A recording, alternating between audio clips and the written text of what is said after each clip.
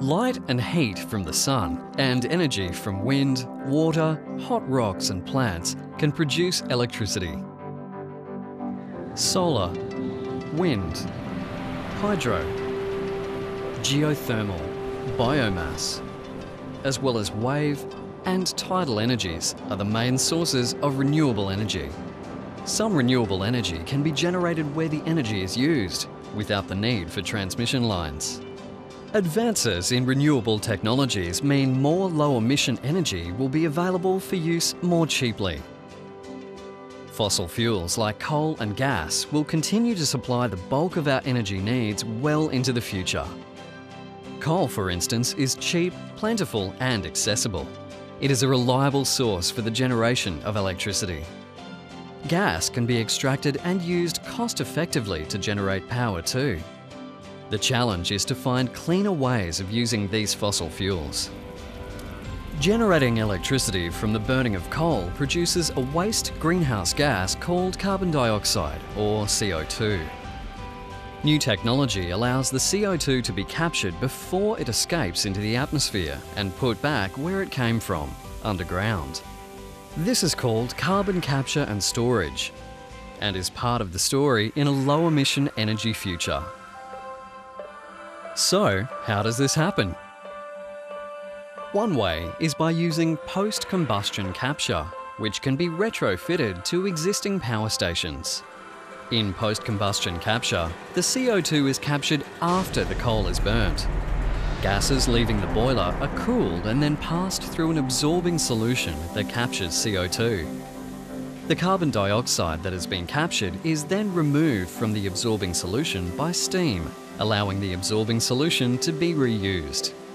Finally, the carbon dioxide is compressed and cooled, forming a liquid ready for transport and storage. Another technology that can also be retrofitted to existing power stations is oxy-fuel technology. Oxy-fuel technology, or oxy-firing, can achieve near zero carbon dioxide emissions from coal-fired electricity. Oxy-fuel combustion burns the coal in almost pure oxygen rather than normal air, producing a flue gas that is free of nitrogen and mainly made up of water vapour and CO2.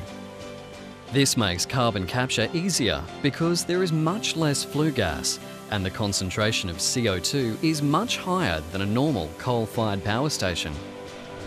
The water vapour is removed by cooling and suppressing the flue gas, the CO2 that remains is then turned into liquid for later transport and storage. Gasification is a different approach where, along with steam and oxygen, coal is fed into a gasifier where it is heated to a high temperature under pressure. It is then turned into a gas called syngas, which then goes through a cleanup process to remove substances such as sulphur. The syngas, now consisting mainly of carbon monoxide and hydrogen, is split into its two component gases, carbon dioxide and hydrogen. The hydrogen, a zero-emission energy-rich fuel, can be used to fire a gas turbine to generate electricity or used as a source of fuel for motor vehicles. The gasification process can capture up to 90% of emissions, with the primary waste product being water vapour.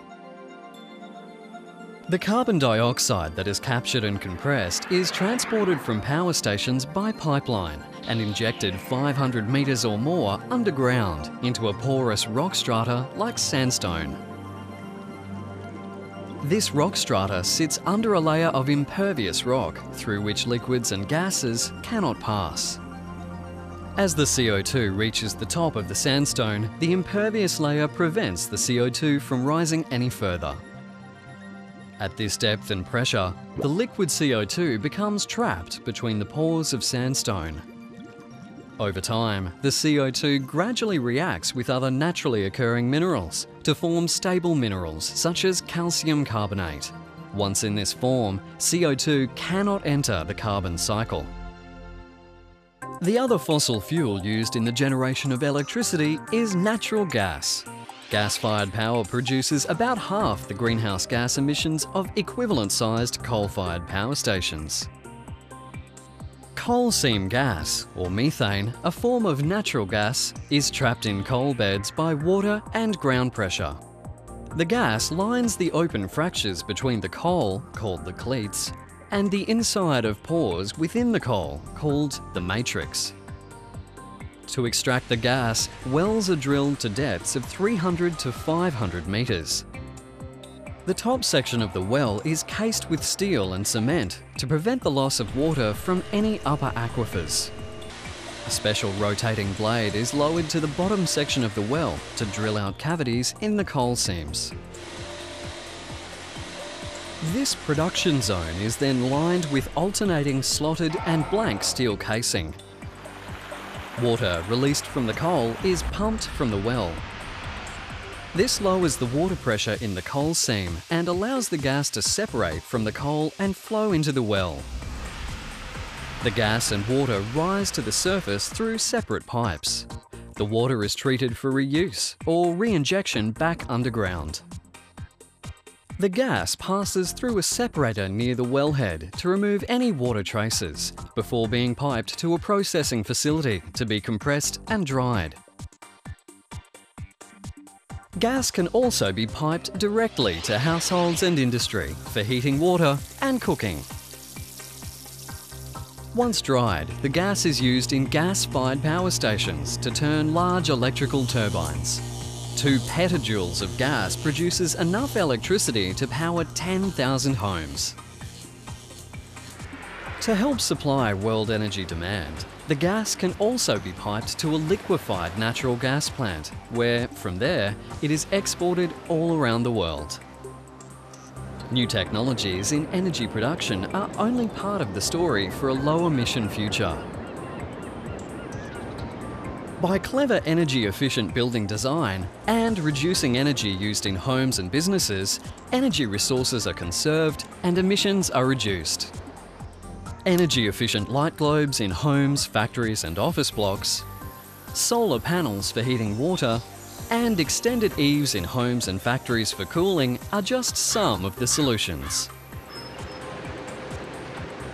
The minerals and energy industry too plays a role in reducing and conserving energy through the use of energy efficient equipment by redesigning buckets of the drag lines that collect the waste rock in coal mines installing more efficient engines in mining equipment, being self-sufficient in the energy they require, and planting trees and grasses to absorb carbon.